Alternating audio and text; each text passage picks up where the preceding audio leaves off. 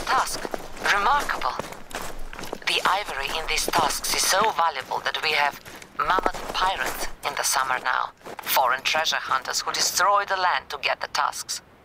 The government is cracking down on them, but there is so much wilderness out here. There is only so much they can do. Most of the time, locals have to defend the land themselves.